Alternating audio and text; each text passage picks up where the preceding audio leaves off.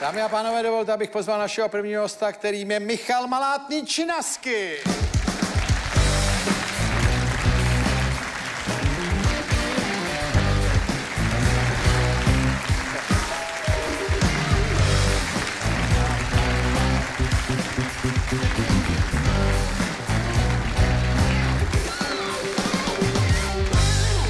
Michal Malátný taky herec, ale že jo? Ano. Macron, Malátný, Kraus, všichni herci. Silný trio. No, ale vy jste s tím herectvím pak to trošku nechal, dal jste se na tu muziku, dobře jste udělal. Ano. Teď máte ohromný výročí, bude zase nová deska, že jo? Ano. A já jsem koukal, ale že určitou změnou je, že jste se nějak odebral na venkov trošku.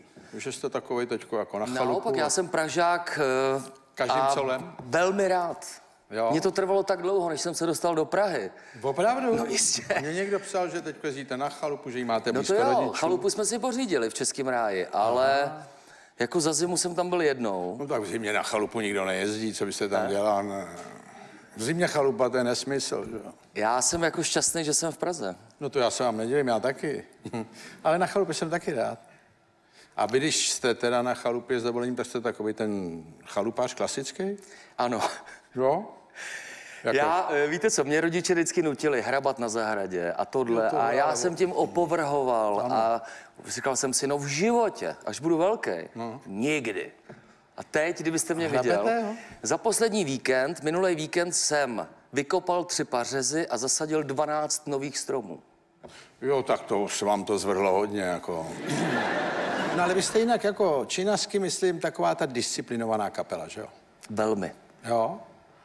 Už to velmi jste řekl, už tak malinko jako upjatě, že na to... No ne, že bych to haněl, naopak, já k tomu mám respekt a úctu. Ono v showbiznesu nic lepšího než disciplína není. Ale čili, čili když třeba máte novou desku, říká se tomu deska už zase, že jo? Ano. A taky bude jako vinilová. Ano, i vinyl. CDčko vypadlo a vinyl zase se vrátil. CDčko furt ještě funguje, ale pro fajnšmekry prostě dneska se dělá vinyl. A, vy máme taky? vinyl. A vy taky si doma dáváte vinyl? Jako pustíte si? Ještě ne, ale eh, když jsem koupil tu chalupu před deseti lety, tak jsem vzal gramofon a všechny ty, tu tunu asfaltu jsem odvezl na tu chalupu. Hmm. A teď jsem ve fázi, že odvážím ty CDčka a zase přivezu ten gramofon. Jo, zpátky, kampek. No tak já jsem to vyházel, mě nenapadlo, že se to někdy vrátí. Já jsem to s opovržením, skončili jste. Jo.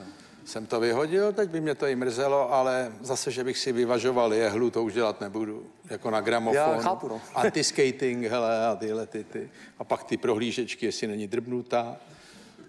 Tak tomu patří, to je rituál. No je, no, tak to je samozřejmě kus mládí, ale no, nás ještě teda přitom zatkli většinou. Eh, Protože komunisti nesnášeli eh, burzu s deskama. Ale zase tam bylo krásný, že když si zapisovali, co vám zabavují, jak to byl krásný moment. Do dneška si pamatuju, jak říkal Jardo Piš, Palm cártnej, retro ze Spervaj. A my lehli a oni dělali, vás ten smích přejde. No, ale třeba když děláte novou desku, tak jak dlouho to trvá? Tahle trvala rok a půl. No rok a půl, ale jako... Vlastně dva roky, no, dejme tomu. No ale tak vy jste tam takový dominantní šéf, že jo? Vy to skládáte. Ne, ne, ne, všechno ne. Píšu, No, většinu, píšu ale. většinou textů, ale většinou hudby píše František, náš kytarista a kapelník. A jak to máte rozvržený? On napíše muziku a vy to otextujete, nebo obráceně, nebo někdy tak, někdy tak? Někdy tak, někdy tak, jo. To je prostě kus od kusu. A vy máte dvě dcery, ne? Ano. Kdy máte ten klid? No řeknu vám to přesně. Od 11 v noci, jak vydržím? Do jedné, do dvou. Do dvou. No kolik je holkám? Druhá třída, takže jedný je Osm. osm. A teď se naučila plavat, jsem pyšnej. A, Já um, a umí noty, na rozdíl ode mě. Umí noty? Umí noty, normálně hraje z not na No, piano. počkejte, jedný je osm a druhý? Druhý je dva a půl. Vám ještě to chvíli vydrží, ale u té osmiletý máte ještě šest let, sedm. Nestrašte mě. No Já pak nebudete v noci klidnej, protože ona nebude doma, že jo, takže... Budete lítat po baráku v županu a říkat, že to je naposledy tohleto, no. Ne, ale tak v noci to chápu. To je nejlepší čas na jakoukoliv soustředěnou uměleckou nebo tvůrčí, Tvůrčí práce. tvůrčí práci. No a pak to začnete zkoušet a zkoušíte to jak dlouho třeba. Písničku třeba. No podle toho, jak je hotová. Nejradši mám písně, které vzniknou v jeden moment, mm. takže co nejkratší dobu přinesete ji a je to jasný. Takže stačí vlastně tři hodiny, dvě hodiny zkouška a je to hotový. Jo? No, Tak... Pár, eh, párkrát jsme se s nějakou písničkou jako crcali, že měla deset verzí a Jo, pak jsme jo. říkali, a, ty, a, je lepší sedmá nebo ta třetí a nakonec to vždycky skončilo, že jsme se vrátili k té první. Jo. Jo. Tak to už je za námi a věnujeme se jenom e, jako nápadům, který za to stojí a který jsou co nejrychleji hotový. no a tak vy máte za ty roky řadu hitů svých, tak taky na koncertě musíte dát, ne? To je taková daň, no tak Ano, to fanoušci daň. si to zasloužejí. Za to vás milujou, tak by to měli dostat. Já vím, že to pro interpreta je někdy bolestný, Ano. že si divák neuvědomuje, že to je po každý, ale... Tabáček jsme nehráli několik let. Tabáček? Hmm. To jsem vám říkal, když jste byl minule hostem, to je asi 6-7 let. To schvátilo mýho nejmladšího syna Jáchyma. Ten si denně zpíval tabáček, což bylo nevhodný poměrně, protože mu bylo asi 8 tehdy. A zpíval to i ve škole, takže se s náma chtěli o tom radit, ale eh, ten miloval tabáček a vypadalo to, že kvůli tomu začne i kouřit, že to je takový pozit, taková pozitivní cesta, jak se dostat k tabáku. No a jaký byly ty obměny? Tak vy jste měli takovou tu smůlu s kolegou, který měl tragickou nehodu, že jo? Kdysi, ale jinak od té doby se neměníte? Ne? No to je taky zajímavý, že jo? Čím to je? To já nevím, no. To každá kapela má svoji alchymii podle těch lidí a my to spolu nějak jsme se naučili žít dohromady. No a tak pohádáte se někdy, ne? To jo, to umíme, Musí to jasný. Jo. A co je třeba příčina hádek? Jako když se zkouší, anebo když jde o ubytování? To jsou takový banální žabomyší války. No. No to musí být, no tak... Proč jsi nekoupil nový futrál na kytaru, když víš, že jedeme ty vole tamhle na druhý konec světa? Jo, jo, jo, a jo. jedeme jak, jak žebráci. Jak vypadáme. Jak Jo. vypadáme v tom světě. No počkejte, ale To byla jste- poslední hádka, úplně nesmyslná. Ale vy jste jezdili po světě, to je krásný, že jo? Po krajanech jste jezdili, vy jste byli v Austrálii dokonce. No, no, no, no. A to je taky nový fenomen českého showbiznesu, že má svý příznivce i v cizině, i když často Čechy tedy, nebo Slováky. No vždycky. Skoro vždycky. Skoro vždycky. No třeba se tam přimotá nějaký. Polák. Ale je to krásný, ne? Nebo mně to přijde. Je to bezvadný. My hrajeme hodně pro krajany a tak vlastně vznikla ta idea, že natočíme desku v cizině. Jo. Nejdřív jsme tam měli domluvený koncerty. Jedete hrát na, na měsíc do Austrálie. Čtyři koncerty. Co tam budete dělat v týdnu? Jo. Tak jsme si řekli, tak zkusíme něco natočit a takhle totiž ty, ty světové kapely to dělají. Že? Hmm. Oni jedou a když je volno, tak si seberou v tom městě, seženou studio a tam něco natočí. Co natočí. Aha. A ono to funguje dobře. No ono teda, jako je do Austrálie na otočku, to by byl opravdu nesmysl. Trošku z ruky. To je trošku z ruky. A druhá věc je, že to v rámci globalizace poslouchat vás může kdo chce, kde chce. Takže v tom se ten svět odevřel a, a na druhou stranu o to publikum je trošku jiný, ne? No je, jasně. Jo? Je velmi věčné. Velmi vděčné. Velmi vděčné. Za každý český slovo, to je vidět. V Sydney jsme hráli v nějakém hotelu, jo. To vlastně ani nebyl klub, klub hmm. to byl příšerný prostor, ale bylo tam narváno, teklo ze stěn a ty lidi byli úplně, úplně v tranzu. No, to je krásný. Super zážitek. No. No a kde jste všude byli? V Austrálii?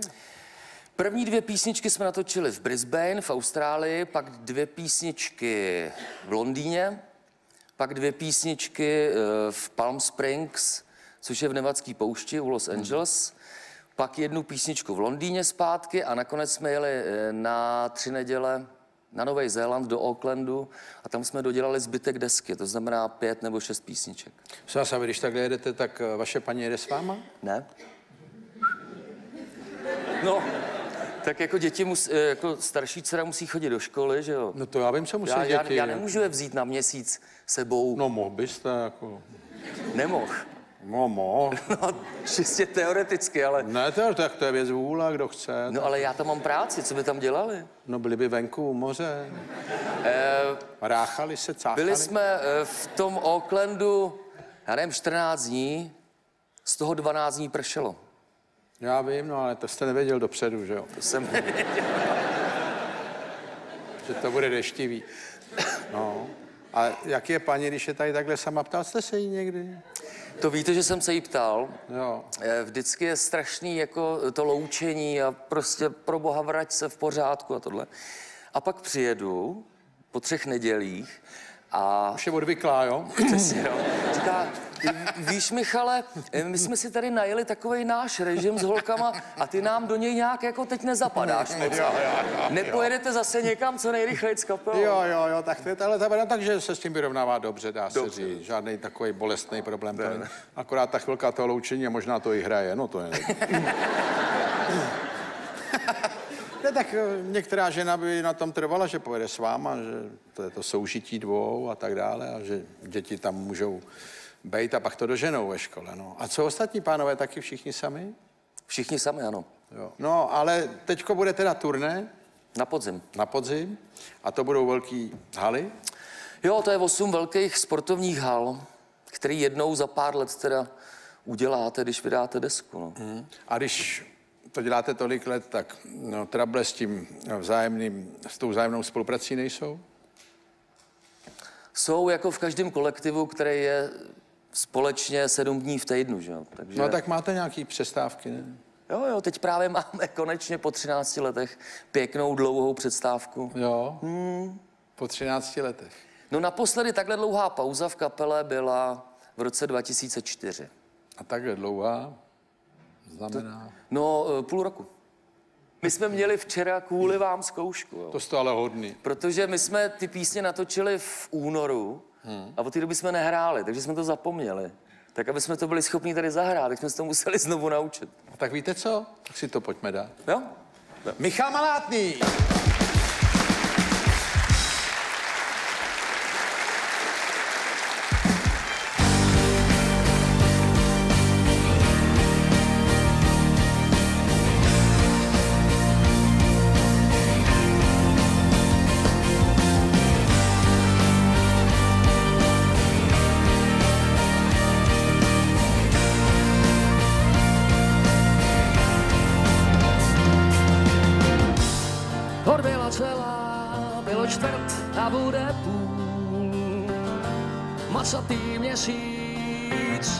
Po nebi plul a kolem něj tančily hvězdy. A kolem nich hluboký vesmír. Venku je na nule,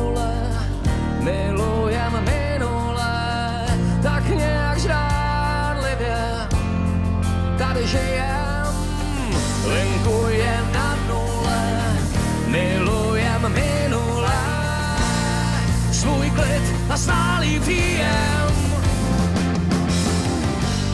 Odbyla celá, bylo čtvrt a bude půl. Masatý měsíc po nebi plul nad krajinou večerem tichým. On stále stejný, já těší o své hříchy.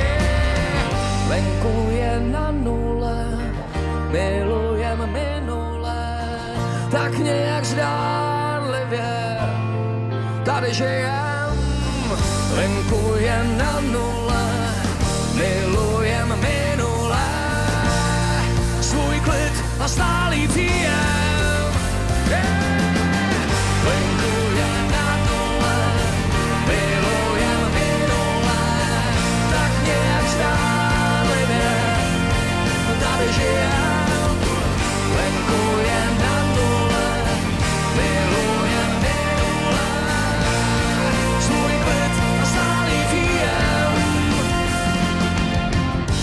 Šedivé si chravo, údolí tiše zalel chlad.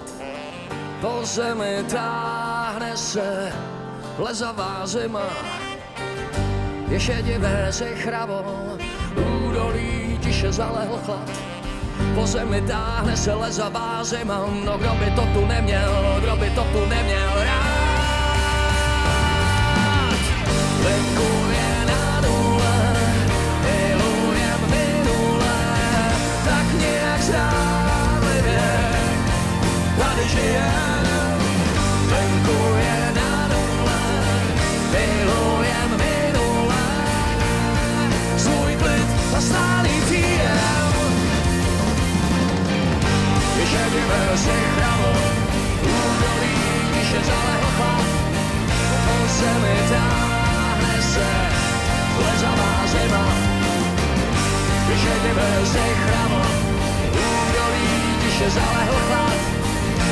táhne se lezavá zima. Kdo by to tu neměl, kdo by to tu neměl?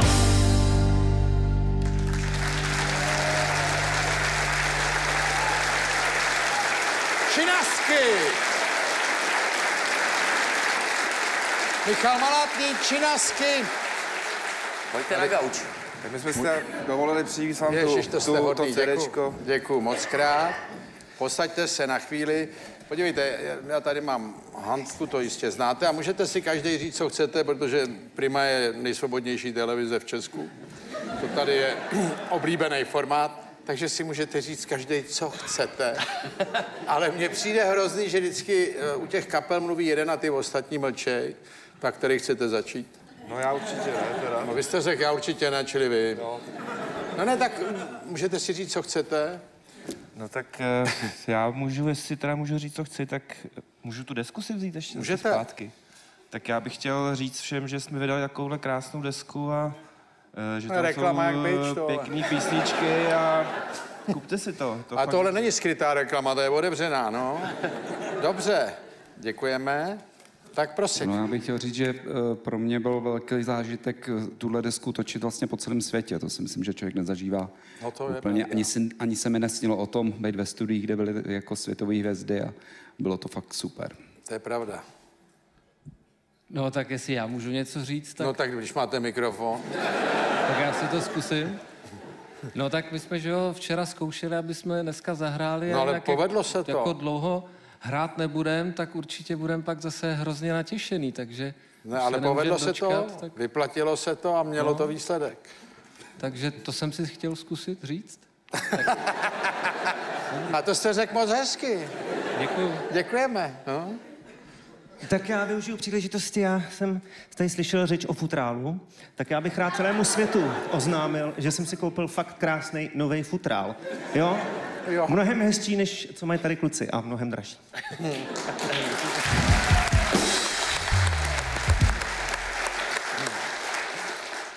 No já tak nějak myslím, že už bylo všechno řečený. Futr, futrál, deska, Já bych čekal nějakou tečku od vás. tečku ode mě. To zní zajímavě. Ne jako do ksichtu, ale řečnickou. Já nevím, já doufám, že lidi dorazí se podívat na tour a že si to užijou každopádně. Činasky!